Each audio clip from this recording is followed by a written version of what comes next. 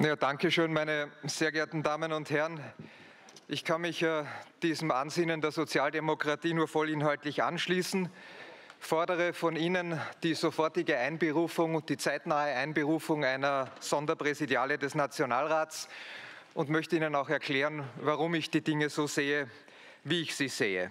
Ganz Österreich ist seit wenigen Stunden in Kenntnis sehr, sehr schwerwiegender Vorwürfe gegen den ersten Präsidenten des Nationalrats, gegen Sie, Herr Sobotka. Und jetzt kann man natürlich die Position einnehmen und sagen, das ist ja alles nichts Neues. Es hat ja schon vorher eine ganze Reihe von Vorwürfen gegeben.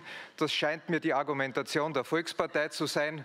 Aber aus meiner Sicht machen diese Dinge die Sache umso schwerwiegender, weil wir in der Zwischenzeit schon eine ganze Reihe, eine ganze Kette von schwerwiegenden Verfehlungen zu beobachten haben, die im Zusammenhang mit Ihrer Person und damit auch mit dem Amt des ersten Präsidenten stehen. Im Kern besagen die Vorwürfe, mit denen Sie jetzt konfrontiert sind, nichts anderes, als dass der zweithöchste Mann im Staat, als dass der zweithöchste Mann der Republik genau im Verdacht steht, die Institutionen eben dieses Staates, eben dieser Republik zur Durchsetzung von parteipolitischen Machtinteressen seiner eigenen Partei, der österreichischen Volkspartei, zu missbrauchen bzw. den Auftrag zu diesem Missbrauch gegeben zu haben. In drei Worten heißt das Anstiftung zum Amtsmissbrauch. Und was vielleicht in der Debatte bisher noch ein wenig zu wenig berücksichtigt worden ist, dass wir dabei von einer Phase reden, wo der Mann, der im Verdacht steht, das getan zu haben, der Chef des Sicherheitsapparates in Österreich gewesen ist. Das wollen wir ja mal nicht vergessen, dass Sie bevor Sie Nationalratspräsident geworden sind, als Innenminister der oberste Chef über alle Ermittlungsbehörden, über das gesamte Personal und über alle technischen Möglichkeiten in diesem Apparat gewesen sind. Die Vorwürfe, die gegen Sie erhoben werden, Herr Präsident, die wiegen umso schwerer. Warum?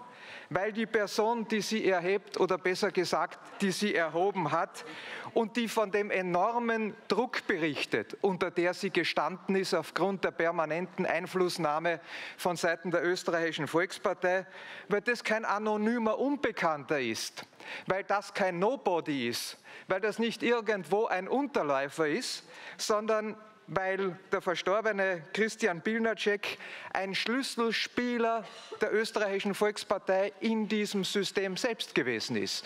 Das äh, ist die exakte Definition. Ein Schlüsselsteller, ein Schlüsselspieler in der, ja, nennen wir es, in der ÖVP-Aufstellung dieser Republik. Äh, und die ÖVP hat ihn in der Justiz gehalten und mit wichtigen Personen, äh, mit wichtigen Positionen bedacht und mit ganz zentralen Aufgaben betraut.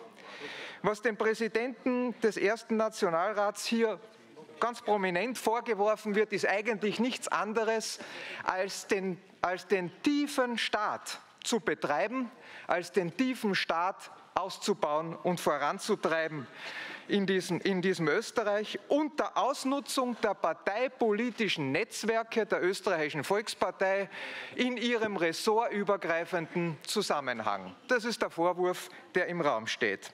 So viel zum Thema staatspolitische Verantwortung der österreichischen Volkspartei. So viel zum Thema, wer ist das Sicherheitsrisiko in dieser Republik. Und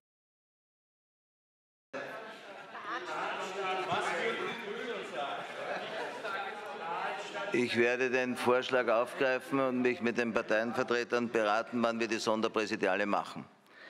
Weil auch mir geht es darum, mir geht es darum, letztendlich auch die Rechtsstaatlichkeit in all diesen Formen zum Durchzug zu bringen und auch klar zu machen, was sind Anschuldigungen und was steht hinter diesen Anschuldigungen und was ist letzten Endes dann da passiert. Wir erleben Situationen, die wir alle nicht erleben wollen. Wir erleben Hausdurchsuchungen bei der Polizeipräsidentin in Klagenfurt, die fehl.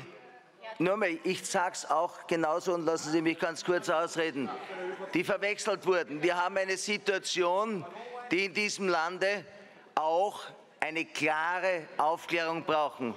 Und ich bin willens und all das zu tun, ganz klar, dass das auch in der Sonderpräsidiale umfänglich angesprochen wird. Für den heutigen Sitzungstag wurde eine Tagesblockzeit von 9,5 Wiener Stunden beschlossen, sodass sich folgende Redezeiten ergeben.